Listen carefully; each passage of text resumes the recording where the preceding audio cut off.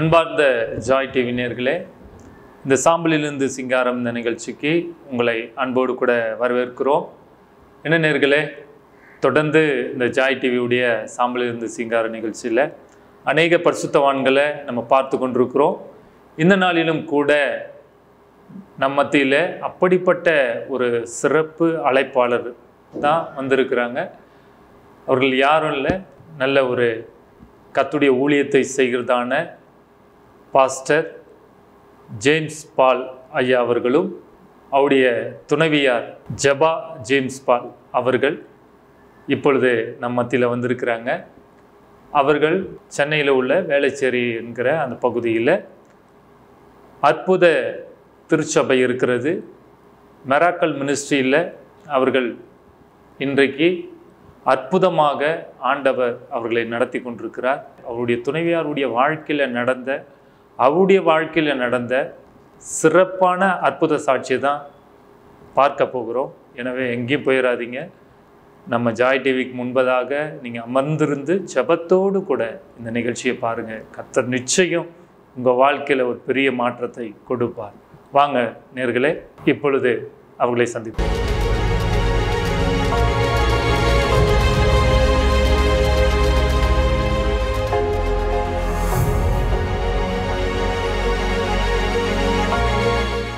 Praise Lord pastor praise Lord pastor thank you thank you praise Lord sister ரொம்ப சந்தோஷமாக இருக்குது. நீங்கள் இந்த ஜாய் டிவி எங்களுடைய அழைப்பை கேட்டு நீங்கள் வந்திருக்கிறது ரொம்ப மகிழ்ச்சி. எங்களுடைய ஜாய் டிவி நேயர்களுக்கும் ரொம்ப மகிழ்ச்சி sister. Pastor. Thank you pastor praise Lord Joy TV நேயர்களுக்கு விசேஷமாய் இந்த நாளை எங்களுக்கு ஒதுக்கி பாஸ்டர் ஆபேத் நகர் ரவி எங்களுக்கு இந்த இந்த நாளை எங்களுக்கு ஏற்பாடு படி கொடுத்த அவருக்கு கத்தருக்கு ஸ்தோத்திரம். நேர்களே எங்கள் சாட்சியினை கேளுங்கள். எங்கள் சபை வேலைச்சேரி பேபி நகர் மரிபிதாஸ் சாலை சித்தாப நகரில் எங்கள் சர்ச்சை அமர்ந்திருக்கிறது.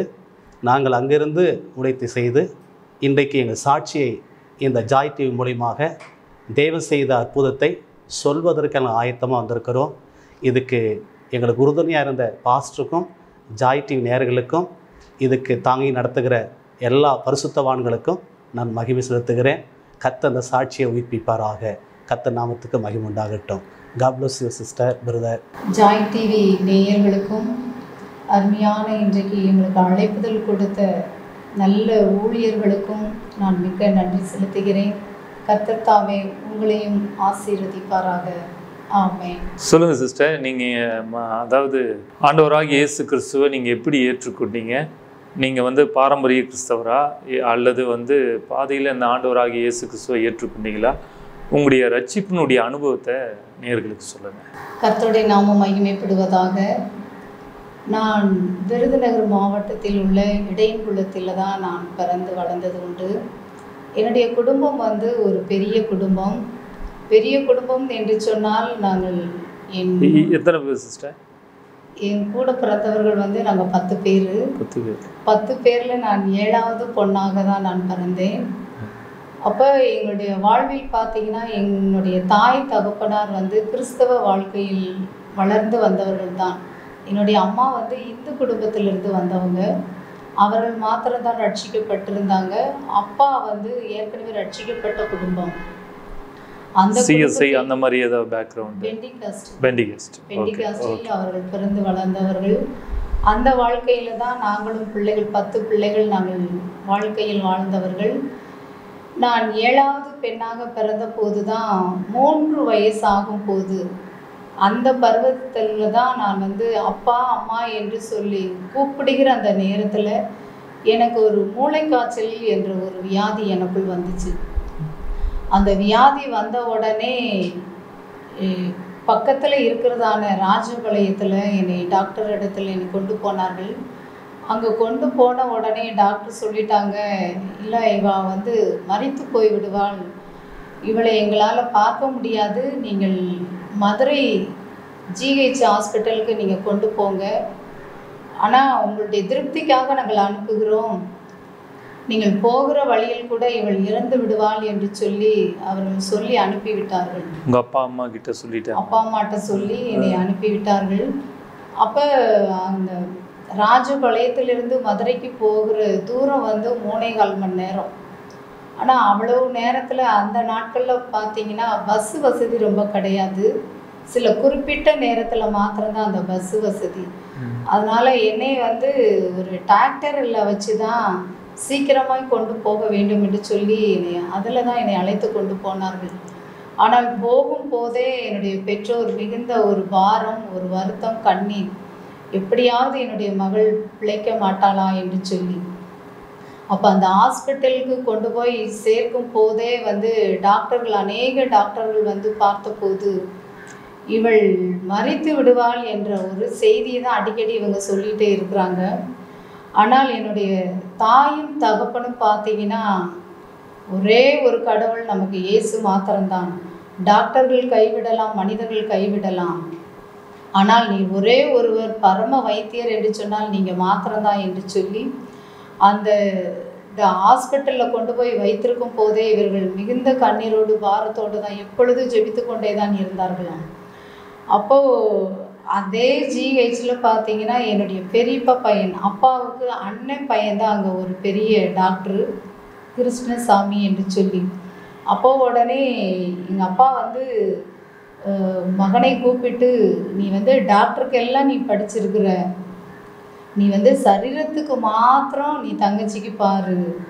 ஆனால் ஆவிக்குரிய காரியத்தில் அப்படின்னு சொன்னால் அது கடவுள் பார்த்து கொள்வார் அப்படின்னு சொல்லி அண்ணன்ட்ட சொல்லும்போது அண்ணன் ஒரே ஒரு வார்த்தை மாத்திரம் சொல்லிட்டு போயிட்டாங்களாம். சித்தப்பா நீங்கள் சொல்கிறதெல்லாம் உண்மை தான் ஆனால் சரீரத்திற்குரிய காரியம் எதுவுமே அவள்கிட்ட இல்லை. எல்லாமே ஒரு செத்த நிலைமை. ஒரு எந்த ஒரு ஆக்ஷனும் இல்லை. ஆமா எந்த ஒரு மூமெண்ட் இல்லை. எல்லாமே வந்து அவளுக்கு செத்த நிலைமையில தான் இருக்குது. இவள் பிழைப்பதே ரொம்ப கஷ்டம் சித்தப்பா. அதனால நீங்க உங்க கடவுள்கிட்ட நீங்க ஒப்பு கொடுங்க அப்படின்னு சொல்லிட்டு அவங்க போயிட்டாங்க. ஒரு டாக்டரே சொல்லிட்டாங்க. அப்போ உடனே வந்துட்டு ஒரு மாதம் மாத்திரம் தான் நான் ஹாஸ்பிட்டலில் படுத்த படுக்கை என்று சொன்னால் இந்த கருவாடு எப்படி காஞ்சு போயிருக்குமோ அந்த ஒரு சூழ்நிலையில தான் என்னுடைய படுக்கை. ஆனால் வருகிறவர்கள் எல்லாம் இவன் நீ பார்த்த உடனே இவன் எப்படி பிழப்பா? இவன் எப்படி பிழப்பா? இவளுக்கு பிழைக்கக்கூடிய சூழ்நிலை எந்த ஒரு சூழ்நிலையுமே இல்லை அப்படின்னு சொல்லிட்டு தான் வந்து வந்து பார்த்துட்டு போய்கிட்டே தான் இருக்கிறாங்க. ஆனால் எந்த ட்ரீட்மெண்ட்டும் எனக்கு கொடுக்க ஆரம்பிக்கலை. ஆனால் ட்ரிப்ஸு மாத்திரம் இவளுக்கு போடலாம் அப்படின்னு சொல்லிட்டு ட்ரிப்ஸு மாத்திரம் எனக்கு போடும்போதே போட்டிருக்குறாங்க. அந்த நேரத்தில் என்னுடைய அண்ணன் கிருஷ்ணசாமி வந்து பார்க்க வர்றாங்க. அப்போ வரும்போது பார்த்தீங்கன்னா எல்லாத்துக்குமே ட்ரிப்ஸு தான் உள்ள சரீரத்துக்குள்ளே இறங்கும். ஆனால் பார்த்தீங்கன்னா என்னுடைய சரீரத்திலேருந்து இருக்கிற கொஞ்சம் பிளட்டு மாத்திரம்தான் மேலே தான் ஏறிக்கிட்டே இருக்கே ஒழிய கீழே இறங்கலை. அப்போ அதை வந்து பார்த்துட்டு இன்றைக்கி ஒரு பெரிய ஒரு டாக்டர் வந்திருக்கிறாரு. நான் அவரை போய் கூட்டிகிட்டு வந்துடுறேன் அப்படின்னு சொல்லிட்டு அப்பாட்ட சொல்லிட்டு அன்னை போகும் போதே வந்து அந்த டாக்டர் வந்துட்டாங்க. அப்போ வந்த உடனே இந்த மாதிரி என்னுடைய தங்கச்சி தான் இந்த மாதிரி ஒரு சூழ்நிலையில் இருக்கிறான் மரண படுக்கை தான் எனக்கு. அப்போ வந்து நீங்கள் வந்து பாருங்கள் அவள் பிழைப்பாளா பிழைக்க மாட்டாளான்றதை நீங்கள் வந்து பார்த்து சொல்லிடுங்க ஏன்னா இவங்களுக்கு மேலே அவங்க பெரிய டாக்டர் அப்படின்றனால. அப்போது உடனே அந்த டாக்டர் எல்லாருமே அவங்க கூட ஒரு பத்து பேர் வந்து நிற்கிறாங்களாம் என்னை சூழ்ந்து நிற்கும் போதே தகப்பனார் ஒரே ஒரு வார்த்தை மாத்திரம்தான் சொன்னாங்களாம். நீங்கள் இவளுக்கு ஒரு ஜீவனை கொடுத்தீங்கன்னா உமக்காக அவள் ஊழியம் செய்வ ஆண்டவரை இப்பொழுது நாங்கள் ஒப்பு கொடுக்குறோம். நானும் என்னுடைய மனைவியும் சேர்ந்து நாங்கள் ஒப்பு கொடுக்குறோம். இந்த ஜீவனை கொடுப்பதோ எடுப்பதோ அது உங்களுடைய கரத்தில் இருக்குது. அப்படின்னு சொல்லி இவங்க ப்ரேயரோடு நின்றுட்டே இருந்திருக்காங்க. அப்போ உடனே அண்ணனும் டாக்டர்ஸ் எல்லாம் வந்து உள்ளே பார்த்த உடனே இல்லை இவளுக்கு ட்ரிப்ஸு கூட உள்ளே வந்து இறங்கலை. ஆனால் பார்த்தீங்கன்னா பிளட்டு இருக்கிற பிளட்டு தான் மேலே போகுது. அதனால் அரை மணி நேரம் தான் இவளுக்கு டைமு இதுக்கு மேலே இவளுக்கு டைம் இல்லை. அப்படின்னு சொல்லிட்டு அந்த டாக்டர்ஸ் எல்லாம் சொல்லிட்டு வெளியில் போயிட்டாங்களாம். அப்போ உடனே அன்னை வந்து அப்பாவை கூப்பிட்டு சித்தப்பா நீங்கள் இப்போ ஊருக்கு போங்க.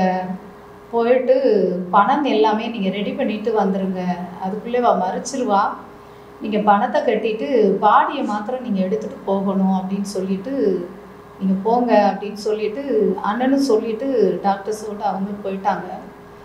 அப்போ உடனே அம்மாட்ட வந்து அப்பா சரி நீ பார்த்துக்கோ நான் போய் பணம் எல்லாம் ரெடி பண்ணிட்டு வந்துடுறேன். அப்படின்னு சொல்லிட்டு இவங்க ஊருக்கு திரும்ப மூணே கால் மணி நேரம் இவங்க போகணும். இவங்க நைட்டில் கிளம்பி காலையில் அதிகாலையில் அங்கே போன உடனே எங்களுடைய ஜனங்கள் எல்லாம் வந்து எதிர்பார்ப்போடு இருக்கிறாங்க. என்ன நடக்குது?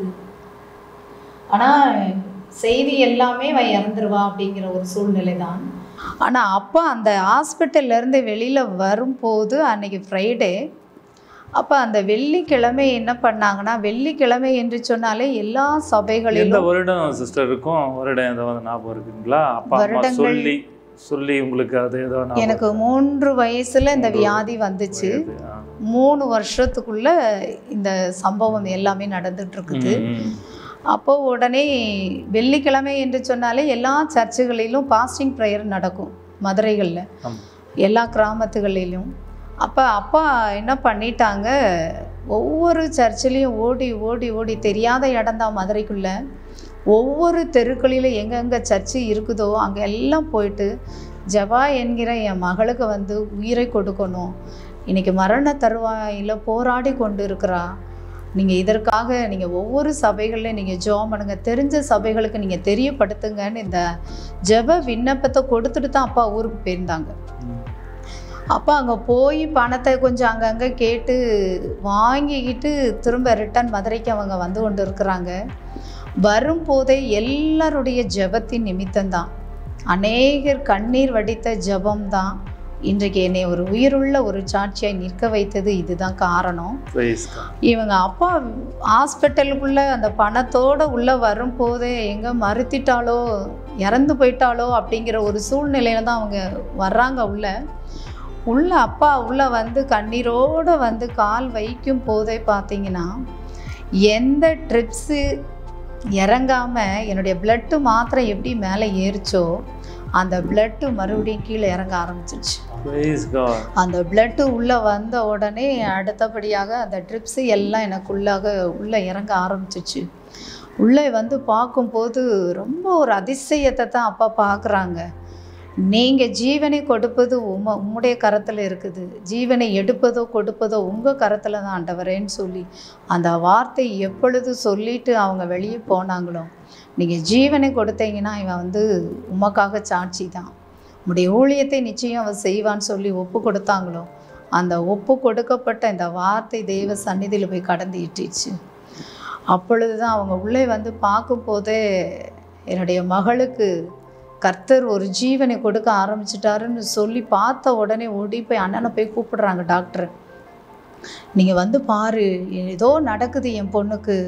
மறுபடியும் ஒரு உயிர் வந்தது மாதிரி அது எப்படி உயிர் வரும்னு அன்னை மறுபடியும் பேசுகிறாங்களாம் இல்லை நீங்கள் வந்து பாருங்கள் ட்ரிப்ஸு உள்ளே இறங்கிக்கிட்டு இருக்குது அப்படின்னு சொன்ன உடனே டாக்டர்ஸ் எல்லாம் உள்ளே ஓடி வர்றாங்க. உள்ளே ஓடி வந்து பார்த்த உடனே இது என்ன காரியம்? எங்களுக்கே ஒன்றும் புரியலை. நாங்களே கைவிட்டோம். அரை மணி நேரத்தில் இறந்துருவான்னு சொன்ன நேரத்தில் இருந்து இப்போ வரைக்கும் ஒரு நாள் ஆயிடுச்சு ஆனால் இவளுக்கு மறுபடியும் ஜீவன் வருது அப்படின்னா நீங்கள் கும்பிடுகிற ஒரே ஒரு கடவுள் தான் சித்தப்பா. அது ஏசு மாத்திரம்தான் அப்படின்னு சொல்லிட்டு அவங்க கடந்து போயிட்டாங்க.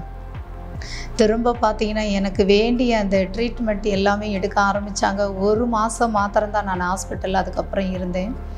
இருந்ததுக்கப்புறம் என்னைய வீட்டிற்கு அழைத்து கொண்டு வந்துட்டாங்க. ஆனால் என்ன நடக்குதுன்றதெல்லாம் எனக்கு ஒன்றுமே தெரியலை. பேச ஆரம்பித்தவன் தான் நான் அடுத்தபடியாக அந்த நேரத்திலிருந்து நான் ஊமையாகவே ஆயிட்டேன். ஊமை தான். ஆனால் வீட்டில் மூணு வருஷமாக என்னை வச்சுருந்தாங்க. ஐந்து வயசு ஆயிடுச்சு. ஆனதுக்கப்புறம் அந்த நாட்கள்லாம் அஞ்சு வயசில் தான் ஸ்கூலில் சேர்ப்பாங்க அப்போ யூகேஜி எல்கேஜிலாம் கிடையாது நமக்கு. ஃபஸ்ட்டு ஸ்டாண்டர்டு தான் ஃபஸ்ட்டு அப்போ உடனே நடக்கலாம் செய்வேன். எல்லா ஆக்டிவிட்டி எல்லாமே எனக்குள்ளே வந்துருச்சு. மூன்று மூன்று வயசுல வந்து உங்களுக்கு பாதிப்பு ஏற்பட்டுச்சு.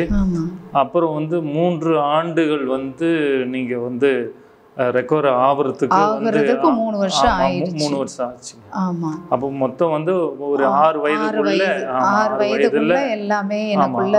செயல்பட ஆரம்பிச்சிருச்சு அப்போ ஒன்றாம் கிளாஸ் என்னை கொண்டு போய் விட்டுருக்குறாங்க. நான் வாய் பேச மாட்டேன்.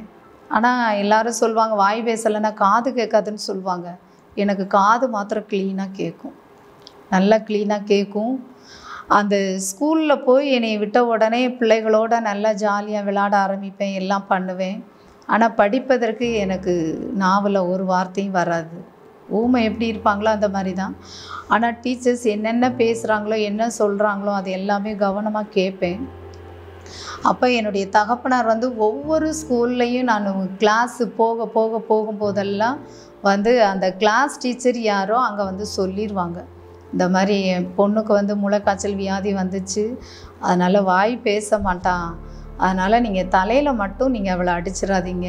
அடிக்கணும் அப்படின்னா இடுப்புக்கு கீழே நீங்கள் எங்கனாலும் அடிக்கலாம் அப்படின்னு ஒவ்வொரு வருஷமும் சொல்லிட்டு வந்துடுவாங்க ஆனால் கிரேஸ் என்ன அப்படின்னு சொன்னால் அந்த ஒன்றாம் கிளாஸ்லேருந்து நான் வாய் பேசலைனாலும் கிளாஸில் ஃபஸ்ட்டு நான் தான் வருவேன்.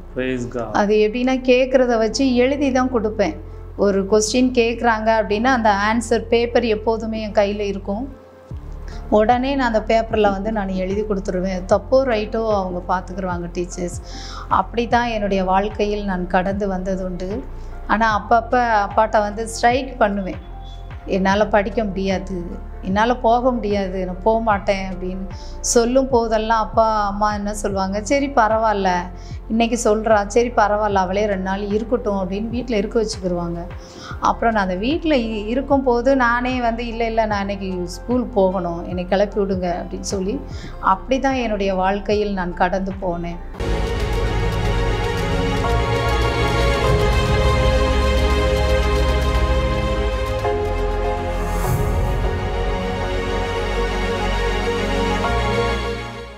அன்பிற்குரிய ஜாய் டிவி நேர்களே உங்கள் ஜாய் டிவி திங்கள் முதல் வெள்ளி வரையிலும் தினமும் மாலை ஐந்து மணி முதல் ஆறு மணி வரையிலும் சாம்பலில் இருந்து சிங்காரம் என்ற நிகழ்ச்சி ஒளிபரப்பப்படுகின்றது. காணத் தவறாதீர்கள்.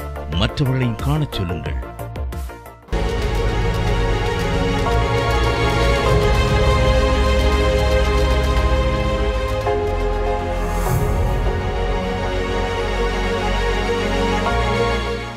எனக்கு பருவங்கள் வந்தபோது ஒன்பதாம் கிளாஸ் வரை நான் வந்துட்டேன்.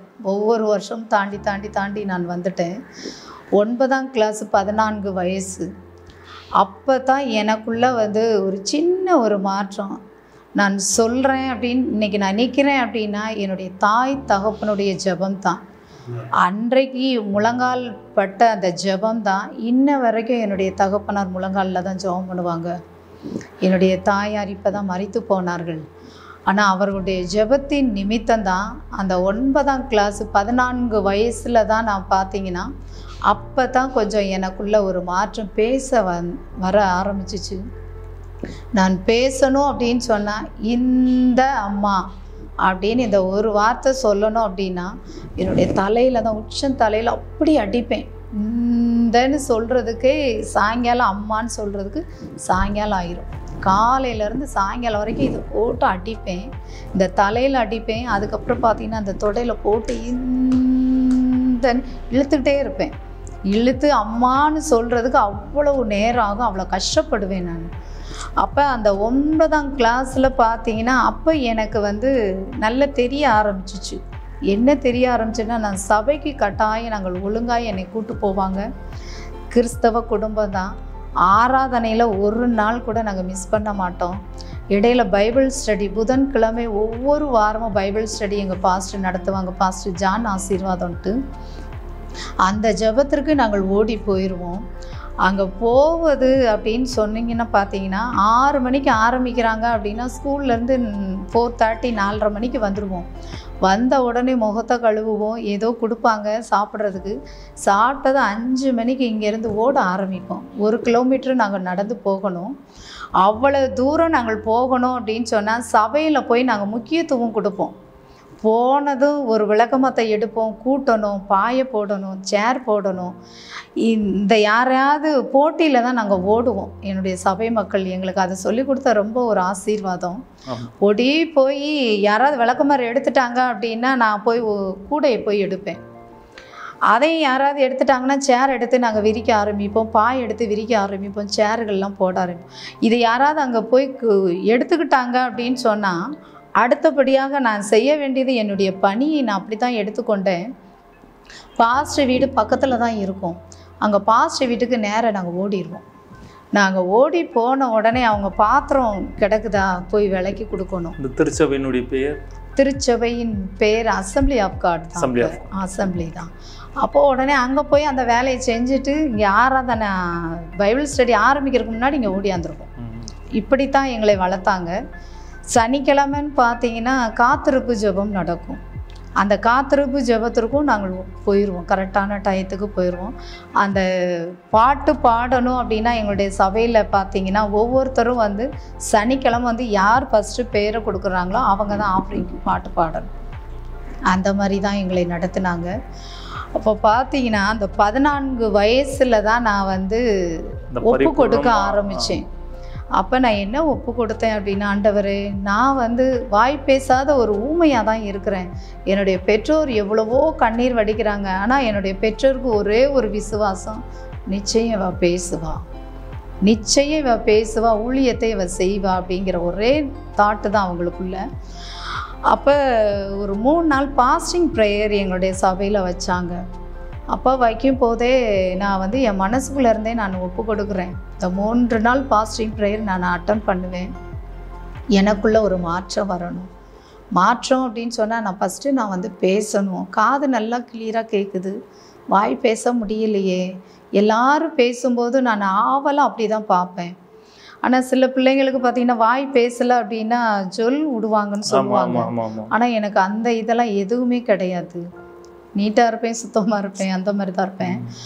அப்போது உடனே அந்த மூன்று நாள் பாஸ்டிங் ப்ரேயரில் நான் ரொம்ப கண்ணீரோடு மூன்று நாள் சாப்பிடல. பாஸ்டிங்கோடு நான் ஒப்பு கொடுத்து ஜோம் பண்ணுறேன் என்னுடைய சபை மக்களோடு ஊழியரோடு இணைந்து நான் ஜெபிக்கும் போது தான் மூன்றாவது நாள் பார்த்தீங்கன்னா அந்த பாஸ்டிங் ப்ரேயர் முடித்துட்டு நான் வீட்டுக்கு வந்துட்டோம். நடு ராத்திரியில் ஏதோ ஒருத்தர் வந்து என்னை எழுப்புற மாதிரி தெரிஞ்சிச்சு. அப்போது உடனே நான் எந்திரிச்சு உட்காந்த உடனே அழுகிறேன். மூன்று நாள் நான் ஒப்பு கொடுத்தேனே. ஆனால் மனசுக்குள்ளே தான் என்னுடைய ஜெபமும் அவருக்கும் எனக்கு மாத்திரம்தான் தெரியும். மூன்று நாள் முடிஞ்சிருச்சு. ஆனால் நான் வாய் பேசலையே அப்படின்னு சொல்லிட்டு உட்காந்து நடு ராத்திரியில் உட்காந்து நான் மாத்திரம் அழுதுட்டு எல்லோரும் எல்லாரும் தூங்கிட்டு இருக்காங்க அப்போ உடனே நான் அழுதுட்டுருக்கும் போதே எனக்குள்ள ஒரு சத்தம். அம்மான்னு கூப்பிடு அம்மான்னு கூப்பிடு அப்பான்னு கூப்பிடுன்ற ஒரு சத்தம் மாத்திரம்தான் எனக்குள்ள. காலையில் பார்த்தீங்கன்னா என்னுடைய தகப்பனார் எதிர எந்திரிச்ச உடனே வர்றாங்க. என்ன இப்படி இருக்க? அப்படின்ட்டு காலையில் வந்து என்னை பார்ப்பாங்க இப்பொழுதும். இப்படி பார்க்க வரும்போதே நான் வந்து இந்த அப்பா அப்படின்னு ஒரு வார்த்தை வந்துச்சு. அதுக்கப்புறம் இந்த அம்மான்னு ஒரு வார்த்தை வந்துச்சு. அது வந்த உடனே தான் எனக்குள்ள ஒரு விசுவாசம் தூண்டி விட்டது மாதிரி இருந்துச்சு. அப்போ உடனே நிச்சயம் நம்ம பேசிடுவோம் நம்ம ட்ரை பண்ணலாம். அப்படின்ன உடனே எல்லாரும் என்கிட்ட பேச்சு கொடுக்கவே ஆரம்பித்தாங்க பேச்சு கொடுக்க கொடுக்க கொடுக்க தான் நான் பேச கொஞ்சம் கொஞ்சமாக எனக்குள்ளே வர ஆரம்பிச்சிச்சு. அப்போ உடனே நான் ஒரு தீர்மானம் எடுத்தேன். தேவன் எனக்கு நிச்சயம் எனக்கு உயிர் கொடுத்துட்டாரு. என்னுடைய மரண தருவாயிலிருந்து எனக்கு ஜீவனை கொடுத்தாரு. இன்றைக்கு நான் பேசுவேன் என்ற ஒரு நம்பிக்கை என்னுடைய தாய் தகப்பனருடைய ஜெபம் ஒரு நாள் வீண் போகலை. ஆனால் இந்த ஜெபத்திற்கு பதில் உண்டு என்பது எனக்குள்ள அந்த விசுவாசத்தை நீங்கள் தூண்டி விட்டுட்டீங்க. அடுத்தபடியாக பார்த்தீங்கன்னா நான் உடனே வந்து தேவனுக்காக நான் ஒப்பு கொடுக்க ஆரம்பித்தேன் நான் ஞானஸ்தானம் நான் உடனே எடுக்கணும். இனி நான் வந்து டிலே பண்ணக்கூடாது.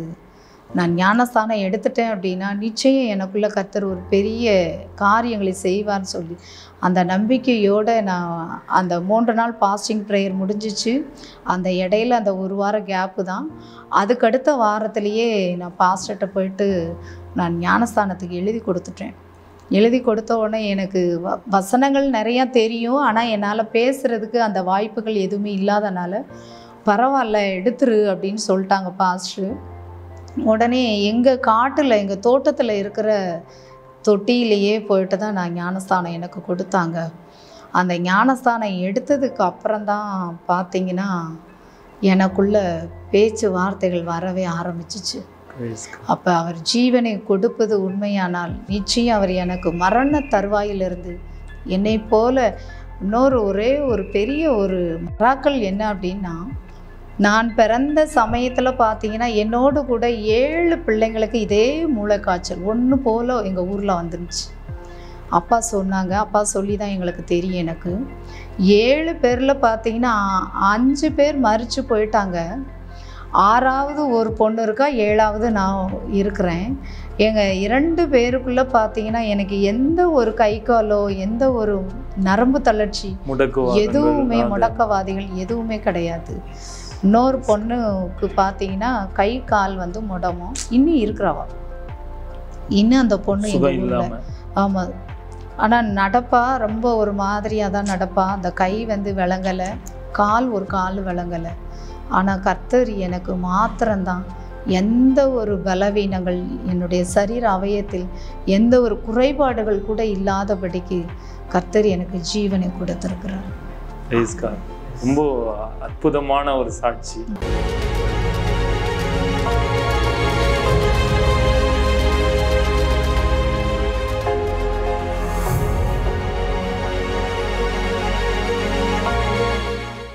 அன்பிற்குரிய ஜாய் டிவி நேர்களே உங்கள் ஜாய் டிவி திங்கள் முதல் வெள்ளி வரையிலும் தினமும் மாலை ஐந்து மணி முதல் ஆறு மணி வரையிலும் சாம்பலில் இருந்து சிங்காரம் இந்த நிகழ்ச்சி ஒளிபரப்பப்படுகின்றது. காண தவறாதீர்கள் மற்றவர்களையும் காணச் சொல்லுங்கள்.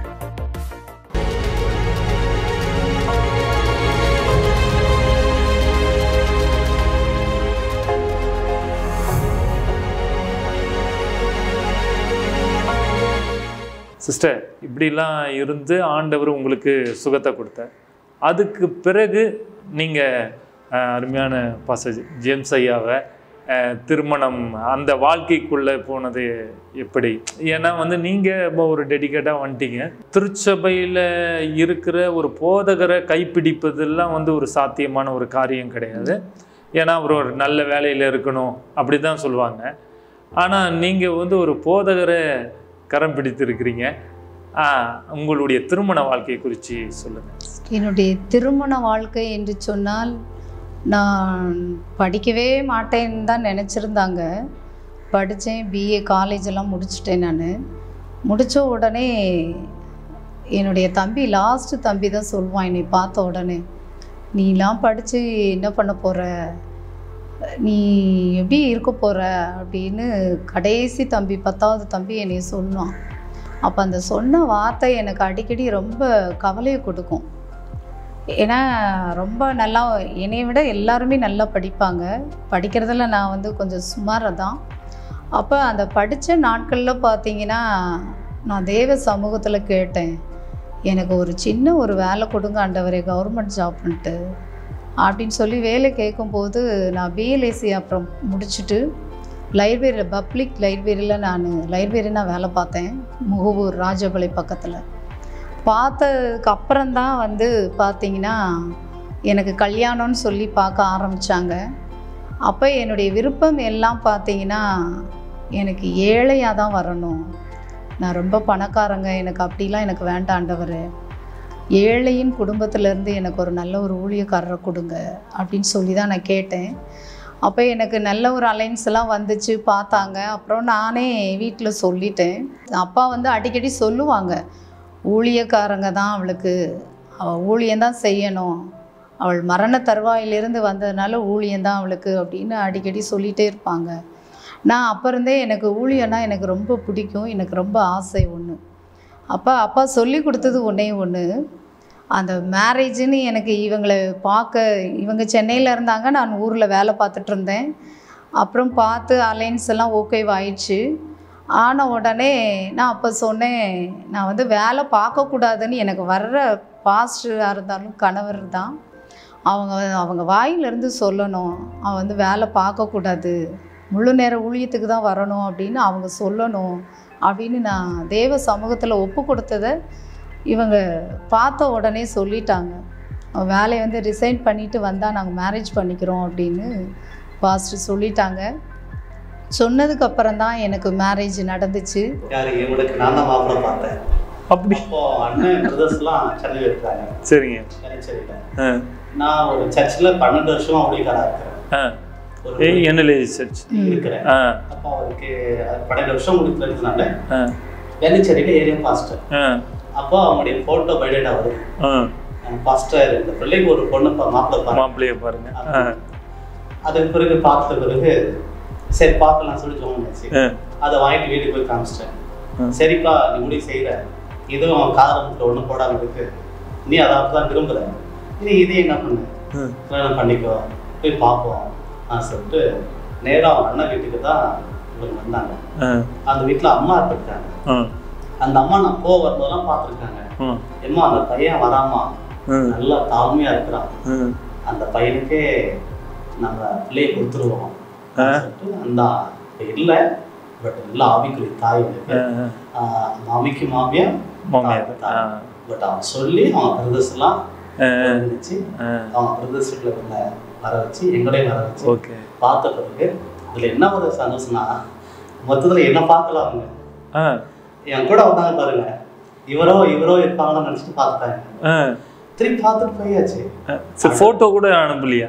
ஆஹ் ஃபோட்டோ கொடுக்கல. இவங்க நாங்க போன பிறகு கேக்குறாங்க. வீட்டுல என்ன பாத்தியா? அவர்தான் பாஸ்டர் பாத்தியா? அப்போ நான் லீனா ஒல்லியா தான் இருப்பேன் இப்பயாவது கொஞ்சம் நாள் வெயிட் போட்டேன் அப்போ பார்க்கல நான். அடுத்த நாள் திருப்பி சாயந்தரம் வர வச்சு என்ன இவங்க ஒழிச்சு இருக்கிறாங்க இவர் தாமா அப்படின்னு. ஓ இவர் தானா ஆனா உண்மையில சிஸ்டர் ஜபா என் மிஸ்ஸஸ் கிடைச்சது ஒரு பெரிய கிஃப்ட் பிரைஸ்க்கா நான் வந்து கோடி ரூபா கொடுத்தாலும் வாங்க முடியாது. பணம் வரும் பணம் போயிடும். ஆமாம் ஆனா என்றைக்கு உடிப்புல எனக்கு ஒரு துணையா வந்தாரோ எங்க ரெண்டு பேருமே கல்யாணம் கட்டின நாள் முதல் கொண்டு தனியா போனதே இல்லை. மனைவியை கண்டடைகிறோம் நன்மையை கண்டடைகிறோம். தனியா போனதே இல்லை. ஆனா அநேக ஊழியக்காரங்களுக்கு இது விருப்பம் வந்தோம் நாங்களாம் தனியா வரோம் கூடவே கூட்டு வரானே அவங்க. ஆ, அப்படிலாம் சொல்லி பயங்கரமா ஃபைட் பண்ண நாட்கள் உண்டு. ஆ, ஆனா அந்த நாளில் பன்னெண்டு வருஷம் ஊழியத்துல பிறகு தனியா வருவதற்கு ரெண்டாயிரத்தி ஏழுல பேசினார் ஆண்டு இப்போத ஊழியத்தில் இருந்தது நீ தனியா ஊழியத்துக்கு வா ஆ, அப்போ கொஞ்சம் பயம். இப்பதானே ஊழியத்தில் வந்திருக்கிறோம். ரெண்டாயிரத்தி அஞ்சுல மேரேஜ் ஆச்சு ம். மே மாசம். ம், இப்போ ஊழியத்தில் வந்த பிறகு வேண்டாம் ஐயா நம்ம இன்னும் கொஞ்சம் நாள் இருப்போம் சொல்லிட்டு ரெண்டாயிரத்தி பன்னெண்டு வரையும் என்ன பண்ணோம்? தள்ளிட்டே போனோம். முடியல. கத்துடைய அழைப்பு சரியா இருந்தது. நவம்பர் மாசம் ஒண்ணாம் தேதி ஆ, ரிசல்ட் பண்ணிட்டு வெளியே வந்துட்டோம் ஓகே.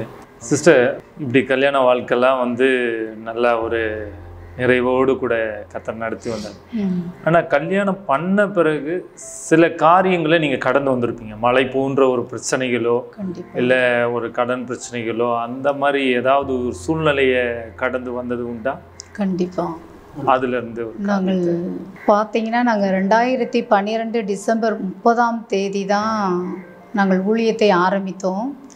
ஆரம்பித்த உடனே ஒரு வருஷம் நல்லா தான் போச்சு. ரெண்டாவது வருஷத்தில் பார்த்தீங்கன்னா ரெண்டாயிரத்தி பதினஞ்சு பதினஞ்சு ஆகஸ்ட் பதினைந்து ஜூலை பதினைந்தாம் தேதி. அன்றைக்கு எனக்கு கொஞ்சம் சுகவீனம் அப்படின்றதுனால நாங்கள் ஹாஸ்பிட்டலுக்கு என்னை ஈவினிங் கரெக்டாக ஒரு ஆறு மணிக்கு நாங்கள் போய்கிட்டு இருக்கோம் டூ வீலரில் போய்க்கொண்டு இருக்கும்போது தான் பார்த்தீங்கன்னா அந்த சினிமாவில் எப்படி இதெல்லாம் படம் மாதிரி எடுப்பாங்களோ அதே போல தான் எங்களுக்கு ஒரு ஆக்சிடெண்ட்டு நடக்க ஆரம்பிச்சிச்சு. கிண்டி ரேஸ் கோர்ஸ் பக்கத்தில். கரெக்டாக நாங்கள் சைடாக தான் மெதுவாக தான் அவங்க போய்கிட்டு இருக்கிறாங்க. நின்றுட்டு இருந்த ஒரு பெரிய? காரு. முன்னாடி அந்த பஸ் ஸ்டாண்டு. பக்கத்துலேயே. அப்போ நின்றுட்டு இருந்த கார் பார்த்தீங்கன்னா கரெக்டாக என்னுடைய இந்த பாதத்திற்கு ரெண்டு காலுக்கு இந்த இடையில வந்துருச்சு. திடீரென்று அந்த கார் வந்து மோதிச்சு. அந்த கார் இதில் வந்து மோதின உடனே நான் படம் மாதிரி மேலே நான் தூக்கி எரிஞ்சிட்டேன். நான் தூக்கி எரிஞ்சு மேலே போய் கீழே வாரதுக்குள்ளே கீழே வந்து எங்களுடைய டூ வீலர் அதுக்கு மேலே பாஸ்டர் குப்பரை கிடக்குறாங்க கீழே. பாஸ்ட் தான் வராங்க. பாஸ்ட் தான். அப்படியே கிடக்குறாங்க. இவங்களுக்கு மேலே வந்து நான் ஒரு மெத்தையில் வந்து உழுகுற மாதிரி டமார்னு வந்து விழுந்துட்டேன். விழுந்துட்டீங்க. நான் விழுகும் போதே நான் ஒரே ஒரு வார்த்தை சொன்னது "இ- இவங்க இருக்க மாட்டாங்க இறந்துட்டாங்க அவ்வளோதான் அப்படின்னு சொன்ன நினைச்ச உடனே ஒரே ஒரு சவுண்டு மட்டும் கொடுக்குறேன். என்னுடைய ஊழியம் என்னவாகும்? அந்த இடத்துல கத்துனது. என்னுடைய ஊழியம் என்னவாகும் அப்படின்னு மாத்திரம்தான் இந்த வார்த்தையை மட்டும்தான் சொல்லிட்டு என்னை வந்து எல்லாருமே தூக்கிட்டாங்க அதுக்குள்ளே. தூக்குன உடனே நான் என் கணவருக்கு என்னாச்சு என்னாச்சுன்னு இவங்களை பார்க்குறதுக்குள்ளே இவங்களுக்கு கண் திறக்கலை. மூக்கு வந்து அந்த கீழே ரோட்டில் அடிபட்டு அப்படியே கிடக்குறாங்க. மூச்சு பேச்சு எதுவும் பேச்சு இல்ல. எதுவுமே இல்லை இவங்களுக்கு. அப்புறம் உடனே என்னாச்சு என்னாச்சுன்னு உடனே பக்கத்தில் ஒரு கார் வேகமாக அதே கம்பெனி கார் தான். அந்த கார் வந்த உடனே நீங்கள் சொல்லுங்கள் எந்த ஹாஸ்பிட்டலில் அப்படின்ன உடனே நாங்கள் போ போக வேண்டிய அந்த டாக்டர்கிட்டயே கொண்டு போனோம். அங்கே போகிற வழியிலேயே நான் இவங்களை பார்த்து ஒரே அழுகிறேன். என்னாச்சு? கண்ணை தரங்க தரங்கன்னா கண்ணை திறக்கலை. உடனே அவங்க டாக்டர் பார்த்த உடனே ஃபஸ்ட்டு இவங்களுக்கு ஒரு ஊசி மட்டும் போடணும். அந்த பெயின் ரொம்ப இருக்குது. கால் நல்லா பெருசாக வீங்கிருச்சு. அப்போ வீங்கினோடனே அவங்க சைதாப்பேட்டையில் ஒரு டாக்டர்கிட்ட எழுதி கொடுத்துட்டாங்க. நீ உடனே நீங்கள் அங்கே போங்க நாங்கள் ஃபோன் பண்ணிடுறேன் அப்படின்னு சொன்ன உடனே சைதாப்பேட்டைக்கு போகிற வழியிலே அந்த டாக்டர். அப்போ அங்கே போன உடனே வேகமாக எக்ஸ்ரே எடுத்து பார்த்தாங்க ஸ்கேன் எடுத்து பார்த்தாங்க. எல்லாம் பார்த்ததுல கால் வந்து கிராச் ஆயிடுச்சு. அதனால தான் இவ்வளோ பெரிய வீக்கம் அப்படின்ன உடனே ஒரு கட்டு மட்டும் போட்டுட்டு அடுத்த நாள் எங்களை வர சொல்லிட்டாங்க. ஆனால் வேறு ட்ரீட்மெண்ட் எதுவுமே கொடுக்கல. ரத்தம் ஏதாவது ரத்தம்லாம் வெளியில் வரல. வேற இல்ல எல்லாம். காயம் மட்டும்தான். காயம். மட்டும்தான்.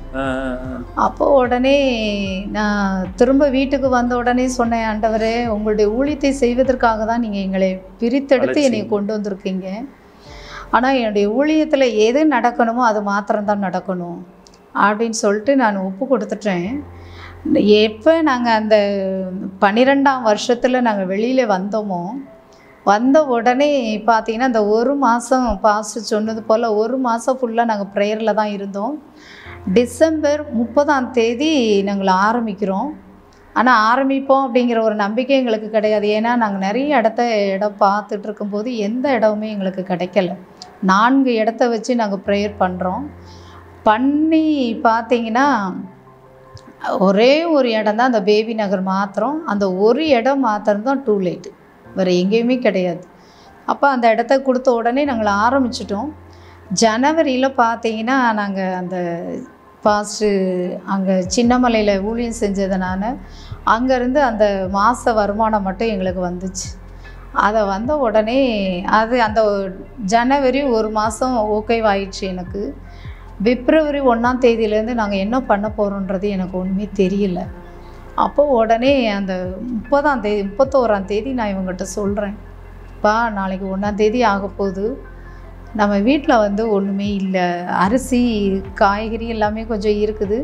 அரிசிங்கிறது மாத்திரம் நமக்கு இல்லையே. இன்னும் ஒன்றுக்கா சர்ச்சுக்கு இடம் பார்த்தோம் பார்த்தீங்களா? அந்த இடத்துடைய அஹ், வாடகையும் பன்னெண்டாயிரம் ரூபாய். பன்னெண்டாயிரம். அப்படி வருஷம் வருஷம் பதிமூணாயிரம் பதினாயிரம் போச்சு. ஆனால் நான் பன்னெண்டு வருஷம் செய்யணும் முடிச்சு. எங்கள் சேலரியே வந்து எவ்வளோ வரும் ஒன்பதாயிரம் ரூபாய். ஆ, அப்போ ஒவ்வொரு மாதமும் நான் வாங்கின சேலரி ஒன்பதாயிரம். ஆனால் சர்ச்சுக்கு நான் எடுத்த வாடகை நடத்துவதற்கு எடுத்த வாடகை பன்னெண்டாயிரம். பன்னெண்டாயிரம். இப்போ எனக்கு சின்னமலை இருக்கிறது பிரச்சனை இல்லை. ம். ஆனால் பன்னெண்டாயிரம் கட்டினா நான் சாப்பிடணும். ஆமா. ஊழியக்காரமாக நான் என்ன செய்யணும் செய்தாகும் ஆமா. ஆனால் இதெல்லாம் ஒரு பெரிய மிராக்கு இதுல ரெண்டு பேர்லயும் யாருமே வேலைக்கு போக வேலைக்கு போகணும் ஆமா. அப்போ உடனே பார்த்தீங்கன்னா நான் இவங்ககிட்ட சொல்கிறேன் இவங்க அமைதியாக இருந்துட்டாங்க. எதுவும் சரி வாங்கி தரேன் வாங்கி தரல எந்த ஒரு வார்த்தையுமே இவங்க பேசலை. அடுத்த நாள் ஒன்றாந்தேதி காலை ப்ரேயரு அன்னைக்கு வந்து கரெக்டாக ஃப்ரைடே அன்னைக்கு. அப்போ நானும் பாஸ்டரும் வந்து சர்ச்சில் வந்து வீட்டில் கொஞ்சம் அரிசி இருந்துச்சு அதை வச்சு சாப்பாடு மட்டும் செஞ்சு வச்சுட்டு வந்துட்டேன் பாஸ்டிங் தான். அப்போ வந்து ரெண்டு பேரும் வந்து முழங்கால் போட்டு நாங்கள் சபையில் உட்காந்து ஜோ பண்ணிகிட்ருக்குறோம் அப்போ ஆரம்ப நாட்களில் பார்த்தீங்கன்னா நாங்கள் ரெண்டு பேர் தான் உட்காந்துருப்போம் யாரும் ப்ரேயருனாலே வரமாட்டாங்க. அப்போது உடனே ரெண்டு பேரும் கண்ணீர் விட்டு அப்போ நான் சொல்கிறேன் நீங்கள் அழைச்சது உண்மை ஆண்டவரே. நான் இறந்துருக்கணும் அப்படின்னா அந்த வயசு மூணு வயசுலேயே நான் இறந்துருக்கணும். ஆனாலும் நீர் என்னை தூக்கி எடுத்து இங்கே கொண்டு வந்து என்னை உட்கார வச்சுட்டீங்க. நல்ல ஒரு சபையில் நான் அங்கே ஊழியம் செஞ்சுட்டு இருந்தோம் அங்கேருந்து என்னை கொண்டு வந்துட்டீங்க வெளியில். நீ கொண்டு வந்து நீ ஆரம்பி அப்படின்லாம் நீங்கள் சொல்லிட்டீங்க நாங்கள் ஆரம்பிச்சிட்டோம். ஆனால் அந்த ஆரம்பித்ததுக்கு பதிலாக எனக்கு இன்றைக்கி எனக்கு ஒரு அற்புதத்தை நீங்கள் செய்யணுமே. அப்படின்னு சொல்லிட்டு என் வீட்டில் அரிசிங்கிற இது மட்டும்தான் இல்லை. ஆனால் நீங்கள் நடத்துவீங்க. எப்படி நடத்துவீங்களோ எனக்கு தெரியாது. அப்படின்னு சொல்லி ரெண்டு பேரும் கரத்தை பிடிச்சி ச சர்ச்சில் உட்காந்து நான் ரொம்ப ஏங்கி அழுதேன். அழுது கூட நான் முடிக்கலை. அந்த நேரத்தில் ஒரு ஃபோன் கால் வந்துச்சு. அப்போ உடனே எப்பயுமே நான் அந்த ஜெப நேரத்தில் எப்பயுமே நாங்கள் ஃபோன் வந்தாலே எனக்கு பிடிக்காது எடுக்கவும் மாட்டேன். இவங்களையும் சொல்லிடுவேன். என்ன ஃபோன் வந்தாலும் சரி நம்ம ப்ரேயரை முடிச்சுட்டு தான் பேசணும். ஃபஸ்ட்டு நம்ம முதலிடம் தேவனுக்கு தான் அப்படின்னு இவங்ககிட்ட சொல்லிடுவேன். அப்போ அந்த நேரத்தில் ஃபோன் கால் வருது. இவங்க ப்ரேயர் பண்ணி அந்த நேரம் முடிக்கும் போது வந்த உடனே நான் எடுக்கலை நீ எடு அப்படின்னாங்க. நான் சரி அப்படின்னு சொல்லிவிட்டு அந்த ஃபோன் காலை மாத்திரம் நான் எடுத்தேன். ஒரு ஆன்ட்டி பேசினாங்க. பேசினோடனே உடனே ஜெபா எப்படி இருக்க? நல்லா இருக்கியா? பாஸ்ட் எப்படி இருக்கிறாங்கன்னு விசாரிச்சுட்டு நீங்கள் வந்து உங்கள் பாஸ்டிங் ப்ரேயரை முடித்த உடனே நீங்கள் நேர இந்த ஸ்ட்ரீட்டுக்கு வந்துடுங்க தண்டீஸ்வரர் பக்கத்தில் அப்படின்னு சொன்னாங்க. நான் சரிங்க ஆண்டி நான் முடிச்சுட்டு பாஸ்டர் பேச சொல்கிறேன் அப்படின்னு சொல்லிட்டு நான் வச்சுட்டேன். அப்புறம் ஒரு மணிக்கு ஒன் தேர்ட்டிக்கு எங்கள் ப்ரேயரை முடித்தோம் முடித்த உடனே பாஸ்டர்கிட்ட இந்த மாதிரி ஒரு ஆண்டி பேசினாங்க யாருன்னு தெரியல நீங்கள் பேசுங்க அப்படின்னோடனே இவங்க ஃபோன் பண்ணி அந்த ஆண்டிகிட்ட போட்டாங்க. போட்ட உடனே அந்த ஆண்டி இல்லை பாஸ்டர். உங்களுக்காக நான் வந்து கர்த்தர் என்னோடு கூட பேசியிருக்கிறாரு. அதனால் நீங்கள் பாஸ்டிங்கை முடித்த உடனே ஒன் தேர்ட்டிக்கு நீங்கள் அந்த தண்டீஸ்வரர் அந்த ஸ்ட்ரீட்டுக்கு நீங்கள் வந்துருங்க. நாங்கள் வந்துடுவேன் உங்களை கூப்பிடுறதுக்கு அப்படின்ட்டாங்க. இவங்க இல்லைம்மா பரவாயில்ல. நாங்கள் இன்னொரு நாள் வரோம் அப்படின்னாங்க. இல்லை இல்லை. கட்டாயம் நீங்கள் அங்கே வந்துடணும் நான் ஆட்டோவில் அங்கே வந்து நின்றுவேன் அப்படின்னு சொல்லிவிட்டு அவங்க ஃபோனை வச்சுட்டாங்க. அப்போ உடனே ரெண்டு பேரும் ப்ரேயர் பண்ணிவிட்டு அவங்க அறிமுகமானவங்களா அறிமுகமா எனக்கு தெரியாது. உங்களுக்கு தெரியும். ஆ. பாஸ்ட்டுக்கு மாத்திரம் தெரியும். எனக்கு தெரியாது அவங்கள. அப்போ உடனே நேராக நாங்கள் தண்டீஸ்வரர் பகுதி அந்த லதா மார்க்கெட் கிட்ட போயிருக்கிறோம். ஆண்டி அங்கே வந்து நிற்கிறாங்க நின்ன உடனே பார்த்து பேசிட்டு சரி வாங்க என் பின்னாடியே ஆட்டோவில் வாங்க வீட்டுக்கு அப்படின்ட்டு வீட்டுக்கு கூப்பிட்டு போயிட்டாங்க. போன உடனே கையை கழுவுங்க அப்படின்னாங்க. நாங்கள் சரின்னு கையை கழுவிட்டோம். கை வாஷ் பண்ண உடனே டேபிளுக்கு உள்ளே கூட்டிகிட்டு போனாங்க. நாங்கள் போய் உட்கார்ற அந்த சேரில் பார்த்தீங்கன்னா அந்த டேபிளில் பார்த்தீங்கன்னா அத்தனை நான்வெஜ்ஜு பிரியாணி முதல்ல கொண்டு எல்லாம் செஞ்சு ரெடியாக இருக்குது. அப்போது உடனே உங்களுக்காக தான் இன்றைக்கி நான் வந்து காலையிலேருந்து சமையல் பண்ணி வச்சுருக்கிறேன். கத்தர் என்கிட்ட வந்து தெளிவாக பாஸ்டருடைய முகத்தை என்கிட்ட வந்து காட்டினார். அதனால் நீங்கள் சாப்பிடுங்க அப்படின்னு சொல்லிட்டு எங்களை சாப்பிட வச்சாங்க. நாங்கள் சாப்பிட்டோம். சாப்பிட்ட உடனே பாஸ்டர் ஒரு ப்ரேயர் பண்ணாங்க. பண்ணிவிட்டு நாங்கள் கிளம்புறோம் ஆண்டி அப்படின்னு சொன்னேன் நான். எங்கே போகிற நீ? அப்படின்னாங்க. நாங்கள் வீட்டுக்கு போகிறோம் ஆண்டி அப்படின்னோடனே இல்லை இல்லை நீங்கள் வீட்டுக்கு போகக்கூடாது. நீங்கள் நேராக லதா மார்க்கெட்டுக்கு. நீ அங்கே போங்க. ரெண்டு பேரும் முன்னாடி வண்டியில் போங்க. எனக்கு இந்த ஆட்டோ வந்துடும் நான் திரும்ப நான் ஆட்டோவில் அங்கே வாரேன் அப்படின்னாங்க. நான் இல்லை ஆண்டி பரவாயில்ல அப்படின்ட்டு நான் தான் பேசுகிறேன் அப்போ சொன்ன உடனே அவங்க சொன்னாங்க இல்லை ஜபா கர்த்தர் என்கிட்ட தெளிவாக என்ன பேசினார்னா இந்த ஊழியக்காரனுக்கு இந்த மாதத்திற்குரிய எல்லா பலசரக்கு ஜாமான்கள் எல்லாவற்றையும் வாங்கி கொடுக்க சொல்லி கர்த்தர் என்கிட்ட தெளிவாக காலையில் பேசிட்டாரு. நீ அந்த லதா மார்க்கெட்டுக்குள்ளே போன உடனே ஃபஸ்ட்டு நீ அரிசி எடு. நான் அரிசி பாஸ்டர்கிட்ட தான் கேட்டிருக்கேன். ஆனால் கர்த்தர் தெளிவாக அவங்ககிட்ட பேசியிருக்கிறாரு. மாதத்துக்கு எவ்வளவு அரிசி நீ எடுப்பியோ போன உடனே நீ ஃபஸ்ட்டு அரிசியை தான் எடுக்கணும் அப்படின்னு அவங்க தெளிவாக பேசுகிறாங்க எனக்கு அவங்க சொன்ன உடனே எனக்கு கண்ணில் ரெண்டு பேர்த்துக்கும் கண்ணீர் தாழ முடியல. அவங்க வீட்டுக்குள்ளே நின்ன உடனே நான் அப்படியே நின்று ஆண்டவர் எவ்வளவு நல்லவர் ஆண்டவர். நீர் எவ்வளவு நல்லவராக இருந்தீங்கன்னா எனக்கு அதிசயத்தை நீங்கள் செய்கிறீங்க இன்னும் செய்ய போகிறீங்க அப்படின்ன உடனே நான் நின்று அப்படியே நாங்கள் ரெண்டு பேரும் கண்ணீர் வடித்தோம் ஆண்டி சொன்னாங்க இப்போ இதுதான் ஊழியம் இதுதான் உனக்கு ஆரம்பமே. கர்த்தர் செய்ய வேண்டிய காரியம் அது பெரிய காரியமாக செய்வார். நீங்கள் போங்க ரெண்டு பேரும் போங்க அப்படின்ட்டாங்க. சரின்னு சொல்லிட்டு நாங்கள் ரெண்டு பேரும் டூ வீலரில் போயிட்டு அங்கே போன உடனே கூட எடுத்த உடனே ரெண்டு பேர்த்துக்கு ஃபீவர் வந்துருச்சு. எனக்கு என்ன எடுக்கணும்னு தெரியல இவங்க எனக்கு தெரியாது நீ தான் எடுக்கணுன்றாங்க எனக்கு அந்த இடத்துலையே அப்படியே வேர்த்து விறுவிறுத்து ஒரு மாதிரி காய்ச்சல் வந்துருச்சு. அப்போது உடனே ஆண்டி பின்னாடியே வந்துட்டாங்க. அரிசின்னு சொன்னாங்களே அப்படின்னு சொல்லிட்டு நான் அரிசி மட்டும்தான் எடுத்தேன். அப்போ சொன்னாங்க இன்னும் இது மட்டுமா வச்சு சாப்பிடுவேன் பலசரக்கு என்னென்ன வேணுமோ எல்லாமே எடு அப்படின்னாங்க. நான் சொன்னேன் ஆண்டி எது இல்லையோ அது மட்டும்தான் நான் ஒவ்வொரு மாதத்துலேயும் வாங்குவேன். வாங்கி நான் வேஸ்ட் பண்ண மாட்டேன் அப்படின்னு சொன்னோடனே சரி எது இல்லையோ நீ அதை மட்டும் எடு அப்படின்னாங்க. அப்போது உடனே நான் இல்லாதது ஏதோ அதை மட்டும்தான் எடுத்தோம். எடுத்து அவங்க வந்து கூடையை வந்து பார்த்தாங்க. அந்த கூடையில் கொஞ்சமாக தான் இருந்துச்சு. நான் இல்லாதது மட்டும்தான் எடுத்திருந்தேன். அப்போது உடனே ஆண்டி உடனே சொன்னாங்க இதை ஃபஸ்ட்டு அதை பில் போட சொல்லி எவ்வளோ வருதுன்னு பார்க்கலாம். நீ இவ்வளோ தான் வாங்குறேன்னு சொல்கிறேல்ல அப்படின்னோடனே அறநூற்றி சில்லற என்னமோ வந்துச்சு. அவங்க சொன்னாங்க இதை வச்சாடி நீ சாப்பிடுவ. அப்படி சொல்லிட்டு அவங்க ஒரு பெரிய தள்ளுற அந்த வண்டி எடுத்து அவங்களே எடு உள்ளே போயிட்டாங்க. நீங்கள் ரெண்டு பேரும் வேணாம் நீங்கள் இங்கேயே நில்லுங்க நான் போய் எடுத்துகிட்டு வரேன் அப்படின்னு சொல்லிட்டு அவங்க அந்த தள்ளுற வண்டி எடுத்துகிட்டு போயிட்டு பார்த்தீங்கன்னா மூவாயிரம் ரூபாய்க்கு ஃபுல்லாக நிரப்பி பழம் முதல் கொண்டு எல்லாம் கொண்டு வந்து அவங்க பில் போடுறாங்க. போட்ட உடனே எனக்கு ரொம்ப இதாக இருந்துச்சு ஆச்சரியமாக இருந்துச்சு. அப்போ உடனே அவங்க ரெண்டு சாக்கு அதே கடைக்காரங்களே ரெண்டு சாக்கை கொண்டு வந்தாங்க. சாக்கில் போட்டு கெட்டி நீங்கள் அந்த வண்டியில் கொண்டு போய் தூக்கி கொண்டு போய் வச்சிருங்க அப்படின்ட்டாங்க. பெரிய ஒரு வார்த்தை ஆண்டு கொடுத்தார் சபை ஆரம்பிக்கும் யாத்திராக முப்பத்தி நாலு பத்து. நான் மோசைக்கு சொன்ன வார்த்தை. நான் உன்னோடு இருந்து செய்கிற காரியம். பயங்கரமாக இருக்கு. பயங்கரம். அந்த அந்த வசனத்தை தான் நான் சொல்லலாம்னு நினச்சேன். அந்த வார்த்தை இந்த ஊழியத்தின் பாதை இதுவரை பயங்கரமான விஷயத்த அற்புதங்களை அந்த மிராக்க சபையில் நடத்திட்டே இருக்கிறார். இப்போ அந்த ஆறு நாட்கள் ஒரே கண்ணீர் தான். ஏயா ஊழியத்துக்கு வந்தோம்? வேலைக்கு போயிடலாம? அன்னைக்கு அர்ப்பணிச்சிட்டோம் ஆனால் இன்னைக்கு முடியலையே சூழ்நிலை. ஆனால் இதுவரை இவ்வளோ அற்புதம் சொல்லலாம் சிஸ்டர் பாஸ்டர் அம்மா ஜோமன்னாலே மிராக்கள் தான். சர்ச்சில் இது இது அம்மா சொல்லிட்டு வர முடியல. ஏழு வருஷம் குழந்தை இல்லை. ஜோம் பண்ணுறோம் நீங்கள் ரெண்டு பிள்ளை பெற்று God. அஞ்சு வருஷம் குழந்தை இல்லை. நீங்கள் அதே ரெண்டு பிள்ளை. ஒன்பது வருஷம் குழந்தை இல்லாமல் இருந்தாங்களா? இன்னைக்கு மிராக்கள் சர்ச்சைக்கு வந்து அநேக மிராக்கள்.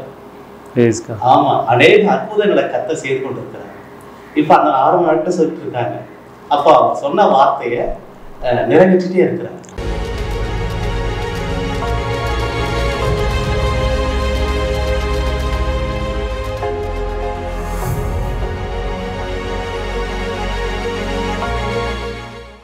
அன்பிற்குரிய ஜாய் டிவி நேர்களே உங்கள் ஜாய் டிவி திங்கள் முதல் வெள்ளி வரையிலும் தினமும் மாலை ஐந்து மணி முதல் ஆறு மணி வரையிலும் சாம்பலில் இருந்து சிங்காரம் என்ற நிகழ்ச்சி ஒளிபரப்பப்படுகின்றது. காணத் தவறாதீர்கள். மற்றவர்களையும் காணச் சொல்லுங்கள்.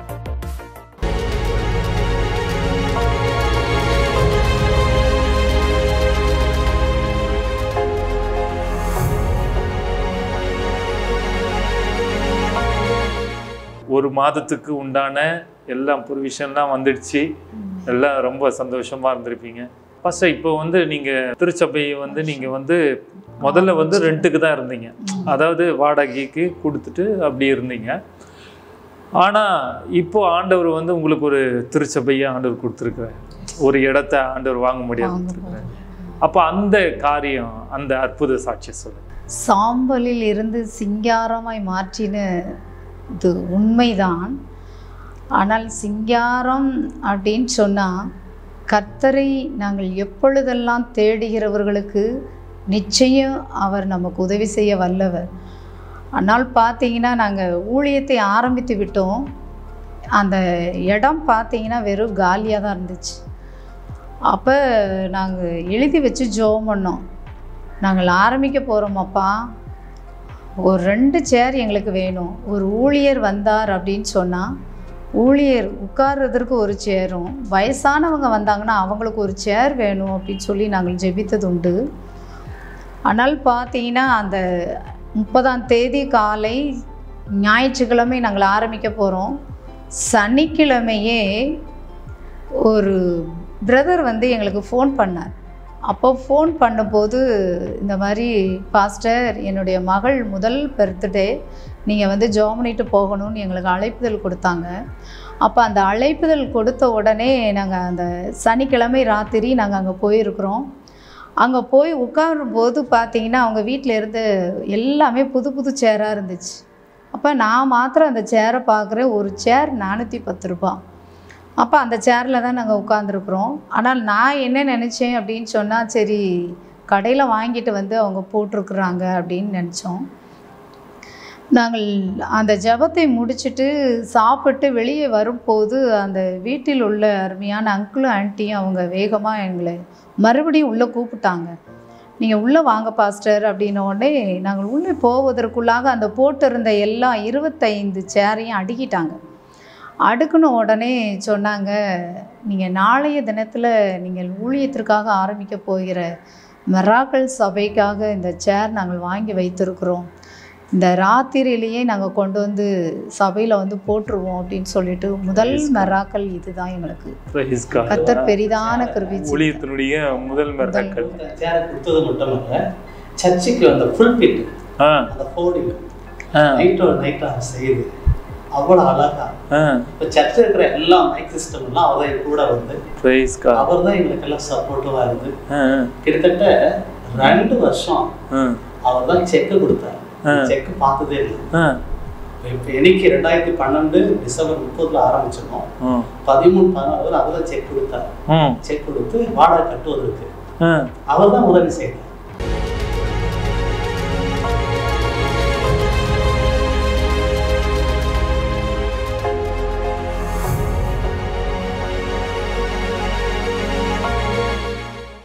அன்பிற்குரிய ஜாய் டிவி நேர்களே உங்கள் ஜாய் டிவியில் திங்கள் முதல் வெள்ளி வரையிலும் தினமும் மாலை ஐந்து மணி முதல் ஆறு மணி வரையிலும் சாம்பலில் இருந்து சிங்காரம் என்ற நிகழ்ச்சி ஒளிபரப்பப்படுகின்றது. காண தவறாதீர்கள். மற்றவர்களையும் காணச் சொல்லுங்கள்.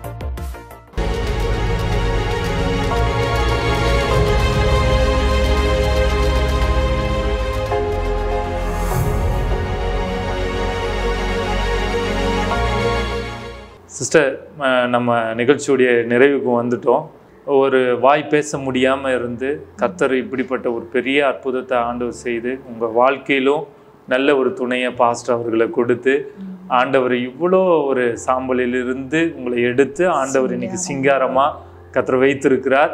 அதனால் ரொம்ப எங்களுக்கு இந்த சாட்சி கேட்கும்போது எங்களுக்கே ரொம்ப பூரிப்பாக இருக்குது ஆச்சரியமாக இருக்குது அதிசயமாக இருக்குது. இதே தான் இதை பார்க்கிற நேர்களுக்கும் இருக்கணும்னு நாங்கள் விசுவாசிக்கிறோம். நீங்கள் வந்து ரொம்ப நல்ல அருமையாக பாடுவீங்கன்னு சொல்லிட்டு பாச சொன்னாங்க. ஏன்னா நேர்களுக்காக ஒரு பாடல் ஒரே ஒரு சின்ன ஒரு சான்ஸ் மட்டும் வந்து நீங்கள் ஒரு பல்லவியை மட்டும் வந்து நீங்கள் பாடுங்க. ஏன்னா நேர்கள் கேட்கட்டும். ஏன்னா பேச முடியாத உங்களுடைய வாழ்க்கையில் ஆண்டவர் இப்படியும் செய்ய முடியுமா? நேயர்களுக்கு ஒரு பாடல் பாட நான் விரும்புகிறேன். நான் ஊமையாய் இருந்து நான் பேசின உடனே முதல் பாடலாக பாடின பாடல் தான் நான் பாடப்போகிறேன் என்னோடு எனக்கு கொடுத்த நல்ல ஒரு ஊழியக்காரர் எங்கே அவர் நற்செய்தியை சொல்ல போனாலும் என்னை கூடயே கூட்டிகிட்டு போயிடுவாங்க பாஸ்டர் ஜான் ஆசீர்வாதம்.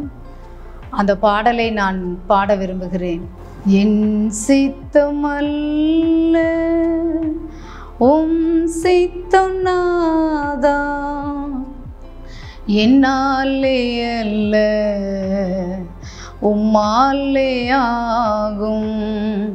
என்னாலே அல்ல உம்மாலே ஆகும். என் சித்தம் அல்ல உம் சித்தம் நாதா என்னாலே அல்ல உம்மாலே ஆகும் என்னாலே அல்ல உம்மாலே ஆகும் களிமண்ணானே குயவன் நீரே நாதா. களிமண்ணானே குயவன் நீரே நாதா. மண்ணான மனிதனான் மண்ணுக்கே திரும்புவே நாதா மண்ணான மனிதனான் மண்ணுக்கே திரும்புவே என்னாதாம் என் சித்தம் அல்ல உம் சித்தம் நாதா? என்னாலே அல்ல உம்மாலே ஆகும். என்னாலே அல்ல உம்மாலே ஆகும். சூப்பர் சூப்பர் நன்றி. காட் bless யூ சிஸ்டர் ரொம்ப அருமையாக இருந்துச்சு. என்ன நேர்களே? இப்படிப்பட்ட ஒரு அற்புத சாட்சியை நம்ம கேட்டு இருக்கிறோம் நீங்கள் பார்த்துருக்குறீங்க. எனவே கேட்கும்போதே ரொம்ப பிரமிப்பாக இருக்கிறது. ஏன்னா ஏசப்பாவுடைய பேரே அவர் அற்புதர். அவர் அற்புதம் செய்யும்படியாக நன்மை செய்யும்படியாக இந்த பூமியிலே சுற்றி திரிந்தார் என்று வேதம் சொல்கிறது எனவே உங்கள் வாழ்க்கையிலும் நீங்கள் எப்பேற்பட்ட சூழ்நிலையிலும் ஏசப்பாவை பிடிச்சிக்கிங்க. நிச்சயம் உங்கள் வாழ்க்கையில் ஆண்டவர் அற்புதம் செய்வார். இவருடைய வாழ்க்கையில் அற்புதம் செஞ்சாரே அதே ஆண்டவர் உங்களுக்கும் அற்புதம் செய்வார். பாஸ்டர் ஜேம்ஸ் ஐயா அவர்களுக்கும் சிஸ்டர் ஜபா ஜேம்ஸ் அவர்களுக்கும் எங்களுடைய மனமார்ந்த நன்றி. ஏன்னா இந்த சாம்பல் இருந்தது சிங்காரம் இந்த நிகழ்ச்சிக்கு உங்களை அன்போடு கூட அழைத்த பொழுது நீங்கள் வந்தீங்க. இவ்வளோ நேரம் சாட்சிகளை வந்து எங்களுடைய நேர்கள் மத்தியில் நீங்கள் பகிர்ந்து கொண்டதுக்காக மனமார்ந்த நன்றி. கத்தர் இன்னும் உங்களை ஆசிர்வதிக்கட்டும் அற்புதங்கள் அதிசயங்களை ஆண்டவர் செய்யட்டும். நீங்கள் கட்டி கொண்டிருக்கிற திருச்சபை இன்னும் அதிகமாக ஆண்டவர் நடத்தும்படியாக தேவைகளை சந்திக்கும்படியாக கட்டிட வேலைலாம் ஸ்டார்ட் ஆக போகுது. அதனுடைய தேவைகள்லாம் இருக்குது. நிச்சயம் தேவனாய் கத்தை சந்திப்பார். தொடர்ந்து உங்களுக்காக நாங்கள் செபிக்கிறோம் எங்களுடைய டிவிக்காகவும் நீங்கள் செபித்துக் கொள்ளுங்கள் எங்களுடைய நிறுவனத்துக்காக நீங்கள் செபித்துக் கொள்ளுங்கள் இப்பொழுது நேர்களுக்காக ஒரு ஆசீர்வாதம் பரிசுத்தமுள்ள எங்கள் அன்பின் தெய்வமே உமக்கு நன்றி ஆண்டவரே. ரஜா இந்த அருமையான இந்த நாளில் ஆண்டவரே. நீர் எங்களுக்கு கொடுத்த நல்ல சிலாக்கியத்திற்காக நன்றி செலுத்துகிறோம் ஆண்டவரே. ஜாய் டிவியில் இருந்து ஆண்டவரே. அநேகர் பார்த்து கொண்டு இருக்கிறதான அருமையான குடும்பங்கள் பிள்ளைகளை நாங்கள் ஒப்பு கொடுக்கிறோம் ஆவியானவரே எனக்கு நீர் செய்த நல்ல அற்புதங்களுக்காக ஆண்டவரே. இன்றைக்கு மரண தருவாயில் இருந்து ஆண்டவரே போராடி கொண்டிருக்கிறதான ஒவ்வொரு பிள்ளைகளுக்கு ஆண்டவரே நீர் விடுதலை கொடுக்கும்படியாக இதை பார்த்து கொண்டிருக்கிறதான அ- அருமையான குடும்பங்களில் ஆண்டவரே நீங்கள் ஒரு அற்புதத்தை நீர் செய்யும்படியாக நாங்கள் ஒப்பு கொடுக்கிறோம் ஆண்டவரே. இந்த தேவன் சதா காலங்களிலும் ஆண்டவரே நீர் எங்களை நடத்த வல்லவர் என்று சொல்லி ஆண்டவரே எனக்குள் இருந்த அந்த விசுவாசம் ஆண்டவரே எனக்குள் இருந்த அந்த நம்பிக்கை ஆண்டவரே அருமையான எங்களுடைய நேயர்களுக்கு ஆண்டவரை நீர் செய்யும்படியாக நாங்கள் ஒப்பு கொடுக்கிறோம் ஆவியானவரே இதை பொறுப்படுத்தி நடத்துகிறதான் ஆண்டவரை. அருமையான ஊழியர்களை நாங்கள் ஒப்பு கொடுக்கிறோம் ஆவியானவரே அநேக ஊழியர்கள் ஆண்டவரை. ஆவியானவரே இந்த ஊழியத்தை தாங்கும்படியாக ஆண்டவரை. இந்த ஊழியத்தின் பொருளாதாரத்தை ஆண்டவரை. ஆவியானவரே அநேகர் கொடுத்து ஆண்டவரை. ஆவியானவரே நிறைவாய் நடத்தும்படியாக நாங்கள் ஒப்பு கொடுக்கிறோம் ஆவியானவரே இந்த ஊழியத்தை ஆண்டவரை ஜாய் ஊழியத்தை ஆண்டவரை. எங்களுடைய நிறுவனர் ஒவ்வொருவரை நீர் ஆசீர்வதிங்க. ஆவியானவரே பலவீனத்தோடு இருப்பார்களானால் உம்முடைய பலன் பூரணமாய் விளங்கும்படியாக நாங்கள் ஒப்பு கொடுக்கிறோம் எல்லாவற்றையும் உடைய கரத்தில் தாழ்த்தி தருகிறோம். துதியன மகிமையெல்லாம் உமக்கு ஏறெடுக்கிறோம். பேசுவின் மூலம் கேட்கிறோம் நல்ல பிதாவே. ஆமென். என்ன நேர்களே இப்பொழுது இந்த சாம்பலிருந்து சிங்காரம் இந்த அற்புத இந்த சாட்சியை நீங்கள் கேட்டிருந்தீங்க பார்த்தீங்க. எனவே தேவனாய் கத்தர் மீண்டும் ஒரு நல்ல சாட்சியாளரோடு கூட உங்களை சந்திக்கிறோம். கத்தத்தாமே உங்களை ஆஸ்வதிப்பாராக நன்றி. எங்களோடு நீங்கள் தொடர்பு கொள்ள வேண்டிய எங்களது முகவரி சாம்பலில் இருந்து சிங்காரம் ஜாய் டிவி சென்னை. தபால் பெட்டி எண் ஒன்று பெரிய கோவலம்பாக்கம் சென்னை ஆறு பூஜ்ஜியம் பூஜ்ஜியம் ஒன்று இரண்டு ஒன்பது. செல்போன் ஏழு மூன்று ஒன்பது ஏழு இரண்டு இரண்டு இரண்டு எட்டு எட்டு ஒன்று மற்றும் ஏழு மூன்று ஒன்பது ஏழு இரண்டு இரண்டு இரண்டு எட்டு எட்டு இரண்டு.